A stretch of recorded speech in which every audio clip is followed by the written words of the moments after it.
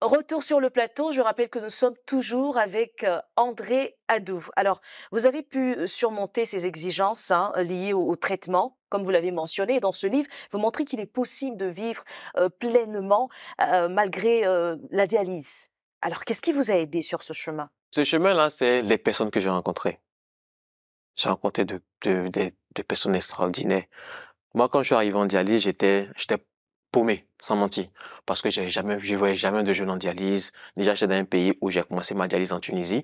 J'étais que avec des Arabes qui me parlaient même pas ma langue. Ceux qui étaient autour de moi, mon petit frère, il sait rien de la maladie, mes colocataires, ils savent rien de la maladie? Personne ne sait, je rentre en Côte d'Ivoire, mes parents ne savent rien de la il a, maladie. il y a une réelle euh, méconnaissance. Méconnaissance euh, de la vraiment de, maladie. de la maladie. Et je voulais maintenant, je suis pris en charge par l'État. Je vais dans les centres de dialyse, je vois que des vieux, surtout en clinique, je vois que des vieux, je vois pas de jeunes. La première fois où moi j'ai vu des jeunes, c'est peut-être euh, bizarre de le dire, j'ai vu des jeunes en dialyse, j'étais content. Mm. Ah oui, je suis pas seul. Je je suis pas seul à, à faire cette dialyse-là. Je suis pas seul, je suis pas le seul jeune à, à dialyser et tout. Mais eux aussi, ils étaient assez perdus. Et au fur et à mesure, j'ai rencontré d'autres personnes. J'ai rencontré mon vieux père Kakou Hervé, qui était un jeune dialysé avec qui j'étais au, au, au Dokui, qui était à Korogo avec moi. Et c'est lui qui m'a vraiment aidé au niveau du régime alimentaire. Il m'a vraiment aidé. Il m'a commencé à me remonter le moral et tout. Après, je suis revenu à Abidjan, dans le groupe d'Adjami. J'ai rencontré des jeunes dialysés qui vivaient. Et je vous jure que j'étais à 56 kilos. Après leur rencontre, je suis passé à 63 kilos. Tellement j'ai repris goût à la vie, j'ai rencontré d'autres personnes et tout. Au fur et à mesure, même dans mon groupe de Yopo que j'ai intégré, j'ai rencontré des personnes qui dialysent depuis 16 ans, qui ont 16 ans de dialyse, qui sont là et qui te montrent, qui te donnent des conseils et tout. Donc, toutes ces personnes qu'on rencontre là, toutes ces situations Vous qu'on voulez dire rencontre que là. tout part de- du mental aussi Du mental, a, tout part du mental, oui. voilà, tout part du mental, tout part. Et il faut avoir, faut pas se dire que c'est la fin, comme je l'ai dit, il faut pas se dire que c'est la fin. Euh, souvent, nous, on aime, on aime se taquiner, souvent on aime dire qu'il y a plus pire que moi. Mm. Il y a toujours plus pire que moi. Souvent, en dialyse, même, tu te regardes ton cas, tu pleures. Quand tu vois ton, ton voisin, tu dis, ah, mine de rien, ça va chez moi. Donc, du coup, c'est accepter la maladie. Il faut avoir un mental de, de, te dire que c'est pas, c'est pas la fin. On avance. On a ça. Si moi j'ai ça, quelqu'un a ça, ça veut dire on peut, on peut vivre.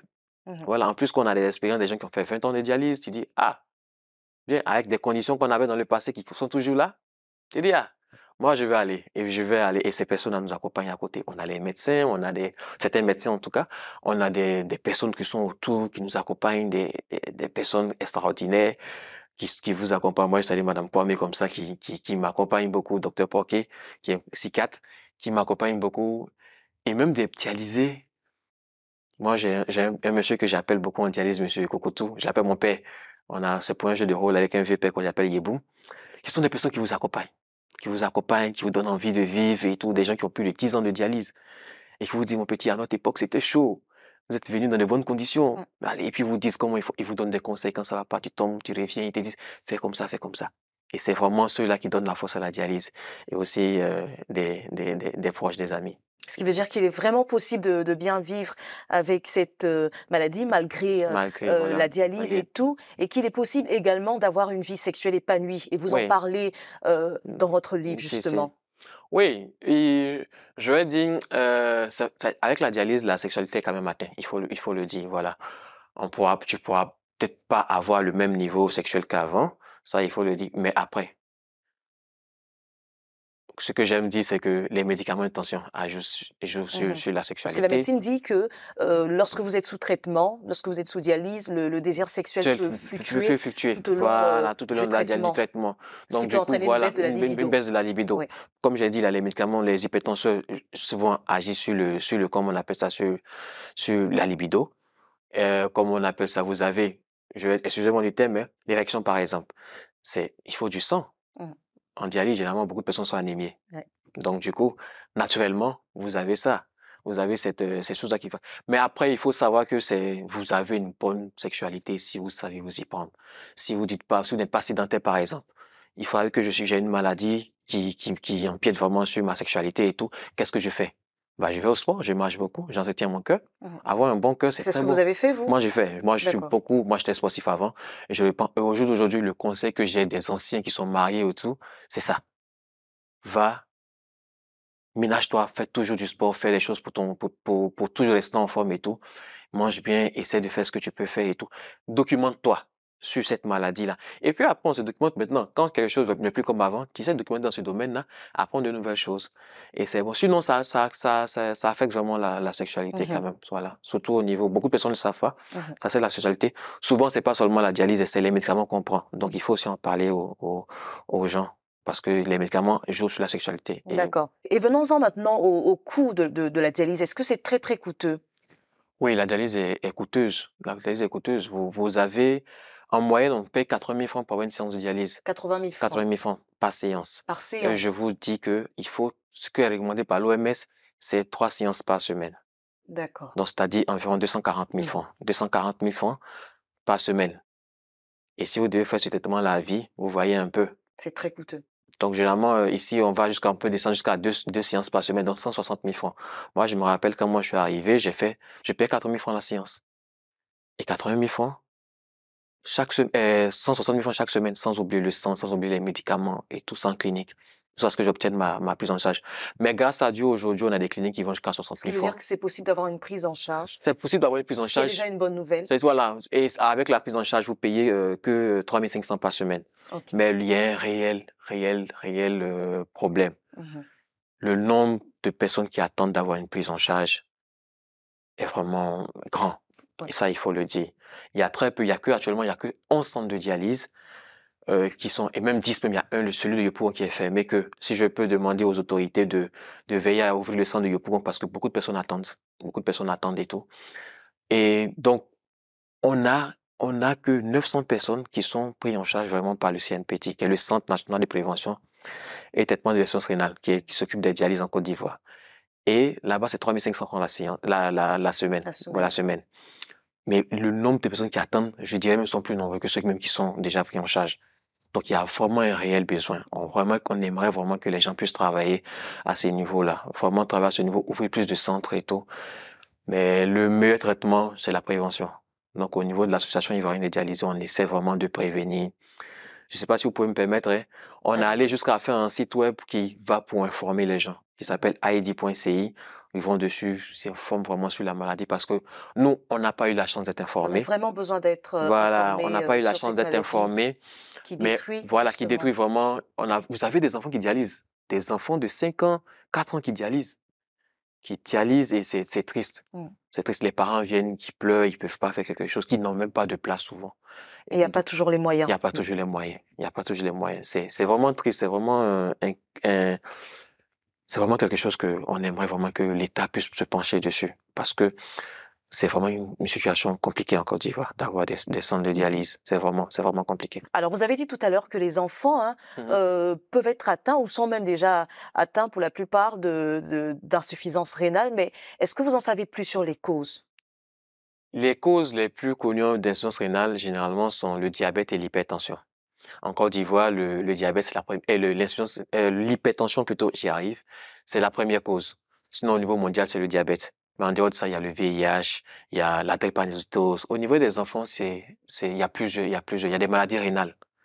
Il y a la polykystose rénale qui est une maladie rénale, comme d'une maladie normale, une maladie rénale, une maladie des reins, qui est elle-même héréditaire. Mhm. Donc, il y a des euh, néphropathies euh, qui sont là, il y a des maladies comme le lupus qui après altèrent. Même une simple angine peut créer une insuffisance rénale si elle n'est pas bien traitée. Une simple angine. Donc, pour dire qu'il y a tellement de causes. Le rein est un organe qui est tellement important que toutes les maladies, le palu, le palu, c'est, l'une des causes. Ici, généralement, c'est une insuffisance rénale qu'on, aiguë qu'on a au niveau de, du palu. Mais quand c'est pas L'angine, le palu. l'angine, le Je, palu, la je vous aurais demandé comment, mais je pense que Non, aura non, certainement voilà, un autre voilà, entretien avec un- spécialiste dans ce voilà, domaine, donc oui. du coup, euh, donc par exemple, le palud, ça freine plus l'insuffisance rénale aiguë. Mhm. Voilà, mais quand c'est pas vraiment bien traité, c'est pas bien, on peut passer au niveau chronique. Donc il y a tellement de causes de l'insuffisance rénale, mais les plus connues sont l'hypertension, le diabète, euh, la drépanocytose, le VIH/SIDA, voilà. Euh, on met aussi le palud dedans, on met le lupus, et puis bon, les maladies rénales. Ce qui veut dire qu'il faut bien traiter son palu. Il faut Quand on bien a traiter palu, son faut, palu. Faut pas, faut pas s'amuser. il faut aller même loin. justement Il à. faut aller même loin, la consommation. Mmh L'automédication. L'automédication surtout, oui. Oui, oui, L'automédication. ça. Voilà, je suis là, j'ai mal à la tête, je vais prendre tel médicament et tout. mh. Ces Faut médicaments, pas le faire. faut pas le faire. Il faut pas le faire. Les médicaments traditionnels, moi je dis que les médicaments ca- traditionnels soignent. Moi je dis, j'ai été guéri de Il beaucoup n'y a de pas vraiment de de mode d'emploi en Voilà, de Donc du coup, on fait, on fait ça. Voilà, mais on ne maîtrise pas vraiment les concentrations des, Les de- de- doses. des, des doses. Donc du mh. coup, c'est compliqué de, de toujours se fier à ça. Voilà, ça soigne, mais après, voilà, on maîtrise pas vraiment les, les doses des, des éléments. Donc ça aussi, ça a entraîné beaucoup de personnes et tout. L'alcool, les boissons énergisantes. Les, nous, les jeunes, on aime les petits mouvements pour se remonter, pour se donner un certain Ouais. genre. Voilà. Surtout sexuellement, les trucs qu'on avale et tout.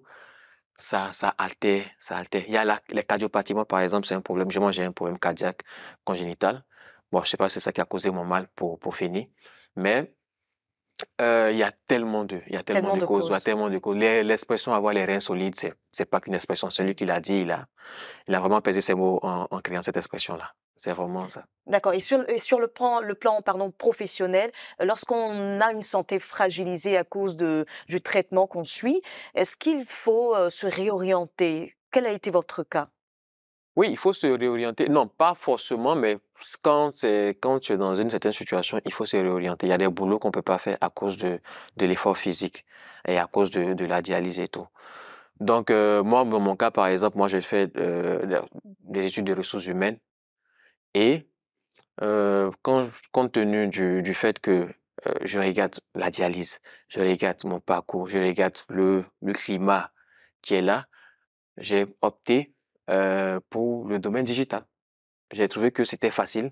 Je peux travailler depuis mon ordinateur, chez moi à la maison, faire des travaux, euh, et puis maintenant faire. Mais c'était difficile, c'était vraiment difficile. Moi, on m'a renvoyé parce que j'étais dialysé.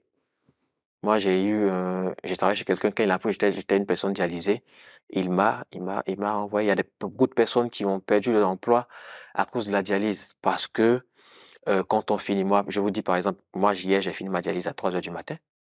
Mmh Donc, du coup, si je dois aller travailler demain à 9 heures, c'est difficile. Pas facile, Quand tu es au public, ça peut aller. Même quand tu es au public, c'est difficile. Mais quand tu es au privé, le boss, il, il peut être un peu clément une fois, deux fois, Mmh trois fois. Mais après, voilà, c'est son Il faut business. donc Il faut, vraiment se faire un moral il faut, il faut, d'acier. il faut, avoir un moral d'acier. Il faut pas se dire que voilà, c'est la fin. Il faut toujours essayer. Il faut, aux jeunes dialysés, moi, je dis, il faut faire une, une réorientation. Et ce faut, sera votre voilà, mot de fin. voilà, il faut vraiment se, se, se, se réorienter. Il faut trouver des, des, des filières, voir comment aller essayer de faire quelque chose. Moi, il y a quelque chose que j'aime dire aux gens, c'est le fait que de ne- d'être inutile. Mmh De ne pas être actif? faut être actif. Voilà, on se, on, on- ça, ça. Moi, personnellement, le fait, depuis que j'ai commencé à travailler, ça m'a fait du bien. Ça m'a fait du bien. J'étais, moi aussi, je vous dis, mon salaire, ça couvre, pas- couvre à peine mes. Mais le fait de me lever le matin, Mmh d'aller quelque part, essayer de faire quelque chose, ça me redonnait. On se change les Ça donne idées. les idées, ça se dit qu'on est encore utile à quelque chose, on rencontre de nouvelles personnes, on parle, on fait et tout. Mais vraiment, c'est vraiment ça. Mais sinon, ce côté travail en Côte d'Ivoire, c'est vraiment compliqué. Beaucoup de personnes et l'État vraiment devrait se pencher dessus. Comment euh, voir l'insertion? Même si on devait peut-être euh, donner quelque chose aux entreprises qui emploient des dialysés, ça serait franchement bien. Voilà, même au niveau des, des impôts, si on pouvait réduire peut-être des taxes et tout pour pouvoir aider ces personnes-là, ça serait vraiment, vraiment bien. On, pense aussi à ça. Ça, c'est vraiment ce que j'aimerais dire. D'accord et pour pour pour terminer, votre livre, il coûte, heu, combien? Il coûte euh, 5 000 francs, voilà. Mais pour moi, pour le moment, euh, on fait une levée de fonds. On fait une levée de fonds, donc du coup, on l'a fait à 4 000 francs pour pouvoir faire une action. Donc du coup, ceux qui l'en veulent, on a fait une édition spéciale, hein, juste je pense, 100 ou 150 exemplaires. Donc ceux qui, en veulent maintenant, ils peuvent, en- ils peuvent en avoir. D'accord, c'est bien noté. Dialysé, heu, ce n'est pas la fin, hein, c'est un livre autobiographique écrit, heu, par vous, André, heu, Adou, pour montrer qu'il est possible donc de bien vivre même en étant sous dialyse. Merci de rester sur cette info et sur cetteinfo.ci.